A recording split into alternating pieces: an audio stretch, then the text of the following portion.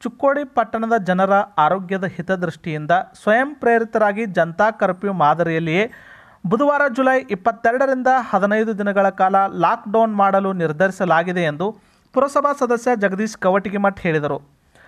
ಅವರು ಸೋಮವಾರ ಪುರಸಭಾ ಆವರಣದಲ್ಲಿ ಕರೋನಾ ನಿಯಂತ್ರಣಕ್ಕಾಗಿ ಮುಂಜಾಗ್ರತಾ ಕ್ರಮವಾಗಿ ಲಾಕ್ಡೌನ್ ಜಾರಿ ಬಗ್ಗೆ ಕರೆದ ಪಟ್ಟಣದ ವ್ಯಾಪಾರಸ್ಥರು ಹಾಗೂ ಹಿರಿಯ ನಾಗರಿಕರ ಸಭೆಯನ್ನುದ್ದೇಶಿಸಿ ಮಾತನಾಡಿದರು.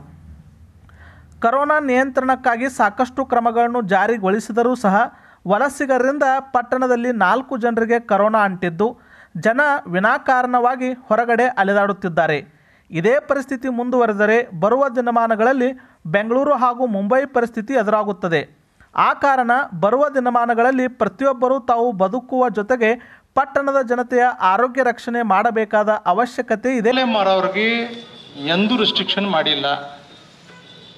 ಇದು ಖರೇನೋ ಸುಳ್ಳು ಮತ್ತೆ? ಗಲ್ಯ ಗಲ್ಯ ಹೋಗಿ ನೀವು ಮಾರಿ ಬರ್ರಿ ಅಂತ ಹೇಳಿದೆವು ಹಳ್ಳಿಯಾಗಿನವ್ರು ಬಂದು ಮೋಟರ್ ಸೈಕಲ್ ಮ್ಯಾಗ ಮಾರಿದ್ದು ಖರೇನೋ ಸುಳ್ಳು ಮಚ್ಚು ಕೊಡೋರಾಗ. ಅದಕ್ಕೆ ಕಾಯಿಪಲ್ಯ ಮಾರೋರಿಗೆ ಎಂದೂ ನಾವು ರೆಸ್ಟ್ರಿಕ್ಷನ್ ಮಾಡಿಲ್ಲ. ಅವ್ರಿಗೆ ಏನು ಹೇಳ್ತು ಒಂದ ಕಡೆ ಕೂತು ಮಾರಬೇಡ್ರಿ ನೀವು. ನೀವು ಒಂದ ಕಡೆ ಕೂತು ಮಾರೋದ್ರಿಂದ ಸೋಷಿಯಲ್ ಡಿಸ್ಟೆನ್ಸ್ ಮೇಂಟೈನ್ ಆಗಂಗಿಲ್ಲ. ನಿಮ್ಮಲ್ಲಿ ಒತ್ತು ಗಾಡಿ ಅದಾವ. ಚುಕ್ಕೋಡ್ಯಾಗ ಏನು ಮಾರ್ತಾರೋ, ಹಣ್ಣುಗಳು ಮಾರೋ ಬದ್ಲಿ ಕಾಯಿಪಲ್ಲೆ ತೊಗೊಂಡು ಮಾರ ಮಾರಿದಾರಿಲ್ಲ. ಮಾರಿದಾರ. ಯಾರದೇನು ನುಕ್ಸಾನ್ ಮಾಡಬೇಕು ಅಂತೇಳಿ ಇಲ್ಲ. ಸಿಲ್ಲೋಣದಾಗ ಚುಕ್ಕೋಡ್ಯಾಗ ಪೆಸ್ಟಿಸೈಡ ಮತ್ತು ಗೊಬ್ಬರ ಅಂಗಡಿಗಳು ಚುಕ್ಕೋಡಿ ಟೌನ್ ಹೊರವಲಯದಾಗ ಅವ್ರಿಗೆ ಶೆಡ್ ಹಾಕ್ಸ್ಕೊಟ್ಟು ಅವ್ರು ತಮ್ಮ ತಮ್ಮ ಸ್ವಂತ ಉದ್ಯೋಗ ಮಾಡಾಕ ರಾತ್ರೋರಾತ್ರಿ ಅವಕಾಶ ಮಾಡಿ ಕೊಟ್ಟೈತಿ. ಕರೋನಾ ಈ ರೋಗ ಯಾರಿಗೆ ಡಾಕ್ಟರ್ಗಳು ಹೇಳ್ದಂಗ ಯಾರು ಶ್ರೀಮಂತರ, ಯಾರು ಬಡವ್ರ ಯಾರು ಕಾಂಗ್ರೆಸ್ ಯಾರು ಬಿ ಜೆ ಪಿ ಅಂತ ಬರಂಗಿಲ್ಲ. ಎಲ್ಲರಿಗೂ ಬರೋದೈತೆ ಅದು. ಇದು ಮೂರನೇದು. ಇನ್ನು ನಾಲ್ಕನೇ ವಿಷಯ, ನಾವು ಇಲ್ಲಿ ಲಾಕ್ಡೌನ್ ಯಾಕೆ ಮಾಡಬೇಕು ಅಂದ್ರೆ ಚೈನ್ ಸಿಸ್ಟಮ್ ಮುರಿಬೇಕಾಗೈತಿ ಇದ್ರದ ಲಾಕ್ಡೌನ್ ಉದ್ದೇಶನ ನಾವು ಯಾರು ರೈತರಿಗೆ ತ್ರಾಸ ಕೊಡಬೇಕು, ಬೇಡ ಬೆತ್ತೊಬ್ರು ಯಾರು ಬೆಳೆಗಾರಿಗೆ ತ್ರಾಸ ಕೊಡಬೇಕು, ಇದು ಯಾವ ಉದ್ದೇಶ ಇಲ್ಲ. ಉಲ್ಟಾ ಇವತ್ತು ಹಳ್ಳಿಗಳ್ದಾಗ ಅಲ್ಲಿ ಇಲ್ಲಿ ಮಾರ್ತಿದ್ರಲ್ಲ, ಅವರೆಲ್ಲ ಚಿಕ್ಕೋಡಿ ಊರಾಗ ಬಂದು ಹೆಚ್ಚಿನ ರೇಟಿಗೆ ಮಾರಿ ಹೋದ್ರು ರೈತರು. ಇದು ಐದನೇ ವಿಷಯ. ರೈತರಿಗೆ ಬೇಕಾಗುವಂಥ ಪೈಪ ಇವೆಲ್ಲಾನು ಈ ಭಾಗದಾಗ ಹೋದ್ರಿ ಶಮ್ನೆವಾಡಿ ಸದಲ್ಗ, ಎಕ್ಸಂಬ ಎಕ್ಸಂಬ ಆದ್ಮ್ಯಾಗ ಯಡೂರ ಯಡೂರ ಆದ್ಮ್ಯಾಗ ಮಾಂಜ್ರಿ ಮಾಂಜ್ರಿ ಆದ್ಮ್ಯಾಗ ಅಂಕ್ಲಿ, ಈ ಕಡೆ ಬಂದ್ರಿ ಕಬ್ಬೂರ, ಈ ಕಡೆ ಬಂದ್ರಿ ಕರೋಶಿ, ಇಟ್ಟೆಲ್ಲ ಹಳ್ಳಿಯಾಗ ಎಲ್ಲರಿಗೂ ಸಿಗತೈತಿ. ಯಾರ ರೈತರದು ಇವತ್ತು? ಲುಕ್ಸಾನಣಿಕೆ ನಾವು ಮಾಡುವ ಉದ್ದೇಶ ಇಲ್ಲ ಇಲ್ಲ. ಮತ್ತು ರೈತರಿಗೆ ಉಲ್ಟಾ ಲಾಕ್ಡೌನ್ದಾಗ ಹೆಚ್ಚಿನ ಬೆನಿಫಿಟ್ ಆಗೈತಿ. ನೇರವಾಗಿ ಮನೆಗೆ ಹೋಗೋದ್ರಿಂದ ರೈತರಿಗೆ ಹೆಚ್ಚಿನ ರೇಟ್ ಮಾರ್ಕೆಟ್ಗಿಂತ ಹೆಚ್ಚಿನ ರೇಟ್ ಕೊಟ್ಟರೆ ಚಿಕ್ಕೋಳಾಗಿ ನಾಗರಿಕರು ತೊಗೊಂಡಾರ. ನೀವು ತೊಗೊಂಡಿರಲಿಲ್ಲ ಮತ್ತೆ? ಅದಕ್ಕೆ ನಾವು ಹೇಳೋದೇನ ಲಾಕ್ಡೌನ್ ಮಾಡಾಕಿದ್ದಕ್ಕೆ ಒಂದು ಸೈಂಟಿಫಿಕ್ ರೀಸನ್ ಐತಿ. ಸುಮ್ಮನೆ ಏನೋ ನಾವು ಎಲ್ಲರೇ ಯಾರ್ದಾರೆ ಬಂದ್ ಮಾಡಿಸಿ, ಯಾರಿಗರೇ ತ್ರಾಸ ಕೊಡಬೇಕು ಇದು ಯಾವ ಉದ್ದೇಶ ನಮ್ದು? ಬಿಲ್ಕುಲ್ ಇಲ್ಲ. ಈಗ ಮಾಡಿ ಗುರುವಾರ ದಿವಸ ಗುರುವಾರ ದಿವಸ ಸಂತಿ ಕೂಡ್ಸ್ಬೇಡ ಅಂತ ಹೇಳಿದ್ದು. ಸಂತಿ ಕೂಡ್ರಿ.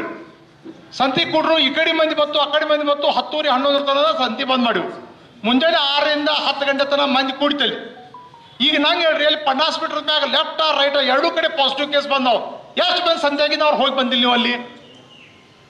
ನಾಳೆ ಇವ್ರು ಪಾಸಿಟಿವ್ ಬಂದ್ರೆ ಇವ್ರ ಕತಿ ಏನ? ರೈತರು ನುಕ್ಸಾನ ಆಗ್ಬಾರ್ದು ಸಂಬಟಕ್ಕೆ ಖರೆ. ನಾವೇ ಅವ್ರಿಗೆ ಮನಿ ಮನಿ ಅಡ್ಯಾಡ್ರ ಅಂತ ಹೇಳಿದೆವು ಮತ್ತು ಅದನ್ನು ಹಂಗ ಹಿಂಗಲ್ಲ ಚಿಕ್ಕೋಡಿ ಮುನ್ಸಿಪಾಲ್ಟಿಯಾಗ ಅವ್ರು ನೇರವಾಗಿ ಮೀಟಿಂಗ್ ಕರೆದು.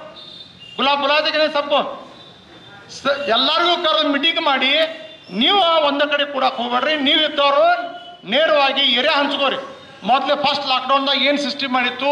ಹಂಗೆ ಎರೆ ಹಂಚ್ಕೋರಿ ನೀವು ನಿಮ್ಮ. ನೀವು ನೀವು ಎರೆ ಹಂಚ್ಕೊಂಡು ಅದನ್ನು ನೀವು ಆಯಾ ಏರಿಯಾದಾಗ ನೀವು ಕಾಯಿಪಲ್ಲೆ ಹೋಗಿ ಮಾರ್ರಿ. ಇವತ್ತ ಕೋರ್ಟ್ಗಳು ನಾಲ್ಕು ನಾಲ್ಕು ತಿಂಗಳ ಬಂದದ ಅಂತ ಅವ್ರ ಕೋರ್ಟ್ ಬಹುಶಃ ಅಂತ ಅಗದಿ ಚಲೋ ಶಾಣೆ ಮಂದಿ ಬುದ್ಧಿಜೀವಿ ಅಂತಾರಲ್ಲ ಅಂತ ಹುಚ್ಚರದಾರ ಅಂತ ಕೋರ್ಟ್ಗಳೆಲ್ಲ ಬಂದಿಡಾಕ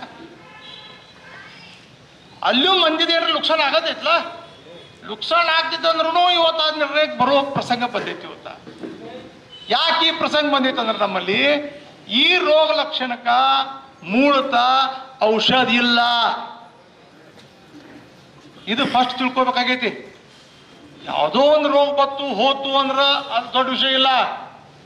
ಆದ್ರೆ ಈ ರೋಗದ ಬಗ್ಗೆ ಕಾಳಜಿ ಯಾಕಾಗೈತೆ ಅಂದ್ರೆ, ನಾ ಕೂತ ಜಾಗದಾಗ ಮತ್ತೊಬ್ಬ ಬಂದು ಕೂತಿದ್ರೆ ಅವ್ನು ಹಚ್ಚಿ ಹೋಗ್ತೈತಿ. ನಾನು ಕೂಡ ಸಂಪರ್ಕದಾಗ ಒಂದು ಒಂದು ಫುಟ್ದಾಗ ನಿಂತಂದ್ರೆ ಅವ್ನು ಬರ್ತೈತಿ.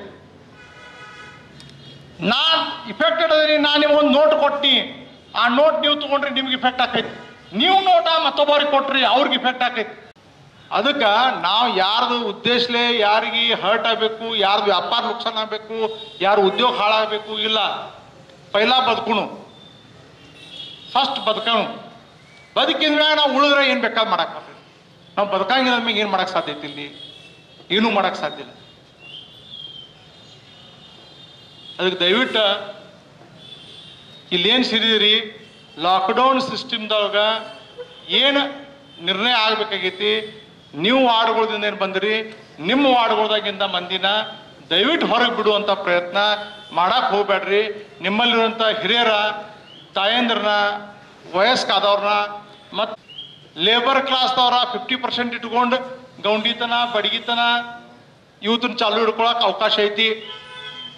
ಯಾವ ಬಡವ್ರ ಮ್ಯಾಗ, ಹೊಟ್ಟಿ ಮ್ಯಾಗ ಕಾಲ್ತಾರೋ ಉದ್ದೇಶ ನಮ್ಮಲ್ಲಿಲ್ಲ ಯಾವ ಗೌಂಡಿ ಅದ ಇವತ್ತು ಹತ್ತು ಮಂದಿ ಅವ್ನ ಕಡೆ ಈಗ ಹಳ್ಳಿಯಿಂದ ಸರ್ಕಲ್ದಾಗ ಮುಂಜಾನೆ ಒಂದು ಪಾಶ್ಚೆ ಮಂದಿ ಬರ್ತೈತಿ ಪಾಶ್ಚೆ ಮಂದಿ ಬಂದವ್ರು ಅವ್ರಿಗೂ ಉದ್ಯೋಗ ಬೇಕಲ್ಲ. ಶಂಬರ್ ಖರೆ ಐತೆ ಅವ್ರಿಗೆ ಉದ್ಯೋಗ ಬೇಕು. ಆದ್ರೆ ಹತ್ತು ಮಂದಿ ಮಾಡೋ ಜಾಗದಾಗ ಐದು ಮಂದಿ ಕಡೆಯಿಂದ ಮಾಡಿಸ್ರಿ. ಒಬ್ಬ ಬಡಿಗೆ ನಾಲ್ಕು ಮಂದಿ ಇಬ್ರು ಮಂದಿ ಕಡೆಯಿಂದ ಮಾಡಿಸ್ರಿ. ನಿಮ್ಮೆ ನಿಮ್ಮೆ ಮಾಡ್ರೆ ಜಾಗ ಕಡಿಮೆದಾಗ ಸೋಷಿಯಲ್ ಡಿಸ್ಟೆನ್ಸ್ ಬರೋಬ್ಬರ್ ಮೇಂಟೈನ್ ಆಗ್ತೈತಿ. ಇದು ಉದ್ದೇಶ. ಯಾರಿಗೆ ನುಕ್ಸಾನ್ ಮಾಡ್ಬೇಕು ಅನ್ನೋಂಥ ಉದ್ದೇಶ ಮುನ್ಸಿಪಾಲ್ಟಿದಿಲ್ಲ. ಇವತ್ತು ಅತನ್ಯಾಗ ಪರಿಸ್ಥಿತಿ ಹಿಂಗೈತಿ. ಬೇಕಾದಂಥ ಕರಡೋಪತಿ ಅದ ಅಂದ್ರು, ಒಂದು ಕೆ ಪೇಷಂಟ್ ಕತಿ ಹೇಳ್ತಾರೆ ಕೇಳ್ರಿ ನೀವು. ಹತ್ತು ದಿವಸದಿಂದ ಪಾಸಿಟಿವ್ ಬಂತು. ಏಳು ದಿವಸ ಕೆ ಎಲ್ ಹಾಸ್ಪಿಟಲ್ ಬೆಳಗಾವದಾಗ ಅಡ್ಮಿಟ್ ಆದರು. ಅಲ್ಲಿ ನೆಗೆಟಿವ್ ಅಂತೇಳಿ ರಿಪೋರ್ಟ್ ಬಂತು. ಹೊಳ್ಳಿ ಊರಿಗೆ ಬಂದರು. ಸೇಮ್ ಡೇ ತ್ರಾಸ ಆತು. ಅನ್ನ ಮತ್ತು ಪಾಸಿಟಿವ್ ಆಯ್ತು ಹೇಳೋ ಉದ್ದೇಶ ಏನೈತಿದ ಇದು ಸಾಮಾನ್ಯ ಬಡವ್ರಿಗೆ ಸಾಧ್ಯ ಐತೆನ? ನಾವು ಏನ್ರೇ ಒಂದು ಇದ್ರಾಗ ಯಾರಿಗೆ ತ್ರಾಸ ಕೊಡಬೇಕು, ಬೇಡ ಯಾರಿಗ್ರಿ ಇದರಿಂದ ಇದು ಮಾಡಬೇಕು, ಇಲ್ಲ. ನಾವು ಬದುಕುನು ಪೈಲ. ಜೀವಂತ ಇರ್ನು ಜೀವಂತ ಇದ್ಮ್ಯಾಗ ಏನು ಬೇಕಾದ್ ಮಾಡು. ವ್ಯಾಪಾರ ಮಾಡ್ನು, ಉದ್ಯೋಗ ಮಾಡ್ನು, ಕಾಯಿಪಲ್ಲೆ ಮಾರೋನು, ಕಿರಾಣಿ ಅಂಗಡಿ ತೆಗಿನು, ಅರಿವಿ ಅಂಗಡಿ ತೆಗಿನು. ಇವತ್ತು ಚಿಕ್ಕೋಡ್ಯಾಗ ಡಾಕ್ಟರ್ ಶ್ರೀಧರ್ ಕುಲಕರ್ಣಿ ಮಾತನಾಡಿ, ಕರೋನಾ ಎಂಬುದು ಹ್ಯೂಮನ್ ಬಾಂಬ್ ಆಗಿ ಪರಿವರ್ತನೆಯಾಗುತ್ತಿದೆ. ಆದರೆ ಪ್ರತಿಯೊಬ್ಬರು ಸಾಮಾಜಿಕ ಅಂತರ ಕಾಪಾಡುವುದರಿಂದ ಬರುವ ಹತ್ತು ದಿನಗಳ ಕಾಲ ತಾವು ಸುರಕ್ಷಿತವಾಗಿ ಮನೆಯಲ್ಲಿದ್ದರೆ ಕೋವಿಡ್ ರೋಗದಿಂದ ಮುಕ್ತಿ ಹೊಂದಬಹುದು ಎಂದರು. ಡಾಕ್ಟರ್ ದಯಾನಂದ ನೂಲಿ ಮಾತನಾಡಿ, ಕರೋನಾ ರೋಗದಿಂದ ದೂರವಿರಲು ಸರ್ಕಾರದ ನಿಯಮಗಳನ್ನು ಕಟ್ಟುನಿಟ್ಟಾಗಿ ಪಾಲಿಸಬೇಕು ಎಂದರು. ಎಸ್ ಆದ್ರಿ. ನನಗೇನು ಅನಿಸೋದಿಲ್ಕಿ ಯಾರೇ ನಿಮ್ಮನ್ನ ಟ್ರೀಟ್ಮೆಂಟ್ ಮಾಡಿ ಉಳಿಸ್ತಾರೋ ಅಂತ ಅನಿಸೋದಿಲ್ಲ. ಟೆಸಿಲೋಜುಮ್ಯಾಬ್ ಬತ್ತೆ ಒಂದು ಇಂಜೆಕ್ಷನ್ಗೆ ಎಂಟು ಸಾವಿರ ರೂಪಾಯಿ ಐತಿ ರೆಮಿಡೀಸ್ ಬರ್ತ ಒಂದು ಇಂಜೆಕ್ಷನ್ ಐತಿ, ಹದಿನೈದು ಸಾವಿರ ರೂಪಾಯಿ ಐತಿ. ಇಂಥವು ನಾವು ಹತ್ತತ್ತು ದಿವ್ಸ ಕೊಡಬೇಕಾಕೈತಿ ಬರೀ ಇಂಜೆಕ್ಷನ್ನ ಔಷಧಗಳು ಏನರ ಒಂದು ಎರಡು ಲಕ್ಷ ರೂಪಾಯಿದ್ದು ಆದಾವು.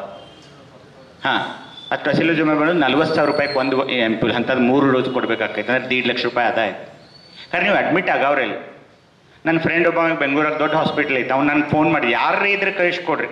ಯಾರೇ ಅಂದ್ರೆ ಏನು? ಸಿಸ್ಟರ ಡಾಕ್ಟರ್ನ ಬಿಡತ್ತಿಲ್ಲ ಅವ್ನು ಅಟ್ಲೀಸ್ಟ್ ಕಸ ಹುಡುಗವ್ರ. ಈತ್ತಿಗೆ ತೆಗ್ಯಾವ್ರ ಅವ್ನು ಹೊಲಸ್ತೆಗೆ ಅವ್ರ, ಏನ್ರ ಬೇಕಲ್ಲ ಯಾರೇ ಒಬ್ಬರು ಸ್ಟಾಫ್ ಬರುವಲ್ರಿ. ಸುಗುಣ ಹಾಸ್ಪಿಟ್ಲ್ ಅಂತ ಬೆಂಗಳೂರಾಗ ಎಂಬತ್ತು ಸ್ಟಾಫ್ ಇದ್ರು ಸರ ಹದಿನೆಂಟು ಸ್ಟಾಫ್ ಉಳಿದಾರ ಎಂಬತ್ತರಾಗ ಹದಿನೆಂಟು ಸ್ಟಾಫ್ ಉಳಿದಾರ ನೀವು ಅಲ್ಲಿ ಕರೆಂಟ್ ತೆಗಿತೀನಿ, ನೀರು ತೆಗಿತೀನಿ ಯಾರಿಗೇನು ಯಾರು ಕೇಳುವಲ್ರಿ? ಎಲ್ಲರಿಗೂ ತಮ್ಮ ಜೀವದ ಮೇಲೆ ಪ್ರೀತಿ ಇರ್ತೈತಿ. ಮಂಗಿ ಮುಖಂಡ ಮಹಾವೀರ್ ಮೊಹಿತೆ ಮಾತನಾಡಿ ಲಾಕ್ಡೌನ್ ಮಾಡುವುದಕ್ಕಿಂತ ನಿತ್ಯವೂ ಎರಡು ಅಥವಾ ಮೂರು ಗಂಟೆ ವ್ಯಾಪಾರ ವಹಿವಾಟಿಗೆ ಅವಕಾಶ ನೀಡಿದರೆ ಎಲ್ಲರಿಗೆ ಅನುಕೂಲವಾಗುತ್ತದೆ ಎಂದು ತಮ್ಮ ಅನಿಸಿಕೆ ಹೇಳಿದರು. ದೇಶೆಲ್ಲ ಲಾಕ್ಡೌನ್ ಮಾಡಿದ್ರು ಕೂಡ ಪಾಸಿಟಿವ್ ಕೇಸ್ಗಳು ಬಂದನ ಜಾಸ್ತಿನೇ ಕೇಸ್ಗಳು ಅದು. ಈ ವೈರಸ್ ಎಲ್ಲಿ ತನಕ ಇನ್ನೊಂದು ಎರಡು ಮೂರು ತಿಂಗಳ ತನಕ ನಮ್ದು ಇದು ಕಾಡೋದ. ಇದ್ರೊಳಗೆ ಹಂಡ್ರೆಡ್ ಪರ್ಸೆಂಟ್ ನೆಕ್ಕಿ. ಆದ್ರೆ ನೀವು ಹಂಗೆ ಕಂಟಿನ್ಯೂ ಜರ ಈಗ ಹದಿನೈದು ದಿವಸ, ಇಪ್ಪತ್ತು ದಿವಸ ಮಾಡಿ ನೀವು ಲಾಕ್ಡೌನ್ ಜರ ಮಾಡ್ರಿ. ಇಲ್ಲಿ ಬೆಳೀತಕ್ಕಂಥ ಬೆಳಿಗ್ಗೆ ಔಷಧ ಸಿಗಂಗಿಲ್ಲ, ಯೂರಿಯಾ ಸಿಗಂಗಿಲ್ಲ ಗೊಬ್ಬರ ಸಿಗಂಗಿಲ್ಲ ಕಾಯಿಪಲ್ಯ ಬೆಳೆಯಕ್ಕೆ ಆಗೋದಿಲ್ಲ ನಾಳೆ ನೀವು ಕರೋನಾ ಮುಗಿದ ನಂತರ ಮಂದಿ ಊಟ ಕೂಡ ಸಿಗಂಗಿಲ್ಲ.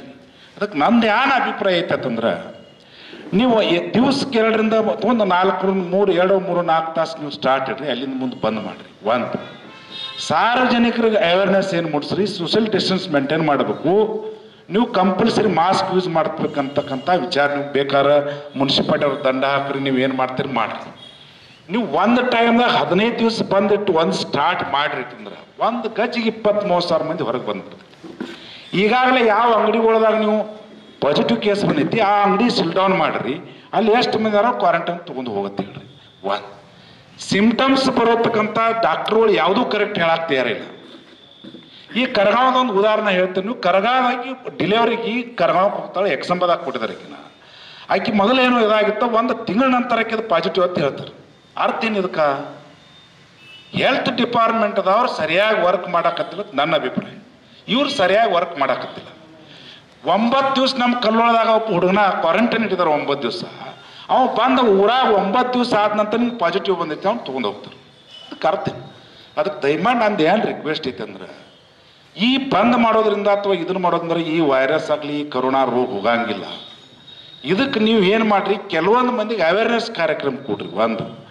ದಿವಸ ಒಂದು ಎರಡು, ಮೂರು ತಾಸು ನೀವು ಅಂಗಡಿಗಳು ಅಥವಾ ನೀವೆಲ್ಲ ಸ್ಟಾರ್ಟ್ ಇದ್ರಂದ್ರೆ ಎಷ್ಟು ಬೇಕಷ್ಟು ಮಂದಿ ಬರ್ತಾರೆ ಹೋಗಿಬಿಡ್ತಾರೆ.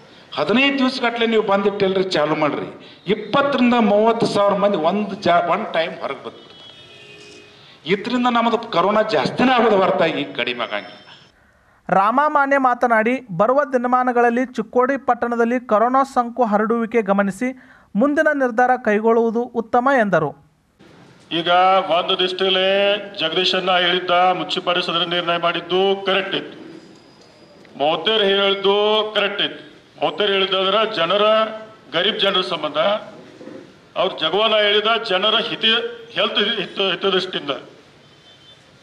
ಆಮೇಲೆ ಡಾಕ್ಟರ್ಗಳು ಸವಿಸ್ಕಾರವಾಗಿ ಎಲ್ಲ ವಿಷಯ ನಿಮಗೆ ಈಗ ಉಲ್ಲೇಖ ಮಾಡಿ ಹೇಳಿದ ಈಗ ಇಷ್ಟ ಈಗ ನಾವೇನು ಈಗ ಎಂಟು ದಿವಸ ಏನು, ಹದಿನಾರು ದಿವಸ ಏನು ಬಂದ್ ಮಾಡೋದು ಮಾಡಿದೀವು, ಅದ್ರಾಗ ಎಂಟು ದಿವಸ ತಕ್ಕ ನಾಲ್ಕು ಸೀಟ್ಗಿಂತ ಜಾಸ್ತಿ ಅದು ಅಂದ್ರೆ ಮತ್ತೊಂದು ಮೀಟಿಂಗ್ ಕರೆಸಿ ಅದಕ್ಕೆ ಯಾವ ಟೈಪ್ ಮಾಡೋದು, ಅದು ಒಂದು ವಿಷಯ. ಈಗ ಅಂತ ಒಂದು ವಿಷಯ, ಎಂಟು ದಿವಸದ ಅಂತಕ ಏನೇನು ಸುಮ್ಮ ಜಾಸ್ತಿ ಚರ್ಚೆ ಮಾಡ್ಕೊತ್ಕೊಂಡೋದು ಬೇಡ. ಎಂಟು ದಿವಸ ಫೈನಲ್ ಮಾಡಿತ್ತು ಎಂಟು ದಿವಸ ಆದ ನಂತರ ಮತ್ತೊಂದು ಮೀಟಿಂಗ್ ಕರೆಸಿ, ಇದಕ್ಕೆ ಕಮ್ಮಿ ಆದವು ಚಾಲು ಮಾಡಕ್ ಕೊಡು ನಾವು.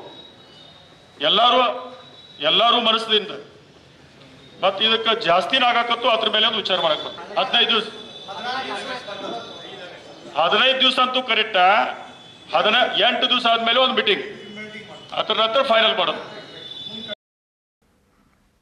ಸಭೆಯಲ್ಲಿ ಸಂಜು ಕವಟಿಗಿಮಠ್, ಅನಿಲ್ ಮಾನೆ ಸಿದ್ದಪ್ಪ ಡಂಗೇರ್, ಬಾಬು ಮಿರ್ಜೆ, ವಿಶ್ವನಾಥ್ ಕಾಮಗೌಡ, ವರ್ಧಮಾನ್ ಸದಲ್ಗೆ, ಪ್ರಭಾಕರ್ ಕೋರೆ, ಸಾಬೀರ್ ಜಮಾದಾರ್, ವಕೀಲರ ಸಂಘದ ಅಧ್ಯಕ್ಷ ನಾಗೇಶ್ ಕಿವಡ್, ಗುಲಾಬ್ ಹುಸೇನ್ ಭಾಗವಾನ್ ಪ್ರವೀಣ್ ಕಾಂಬಳೆ, ಸಾಬೀರ್ ಜಮಾದಾರ್, ಇರ್ಫಾನ್ ಬೇಫಾರಿ, ಟಿಪ್ಪು ಗಣೇಶ್ವಾಡಿ, ಸತೀಶ್ ಕುಲಕರ್ಣಿ, ತಾನಾಜಿ ಕದಂ ಪುರಸಭಾ ಮುಖ್ಯಾಧಿಕಾರಿ ಡಾಕ್ಟರ್ ಎಸ್ ಆರ್ ರೋಗಿ ಸೇರಿದಂತೆ ಚುಕ್ಕೋಡಿಯ ವ್ಯಾಪಾರಸ್ಥರು ನಾಗರಿಕರು ಹಾಗೂ ವೈದ್ಯರು ಉಪಸ್ಥಿತರಿದ್ದರು.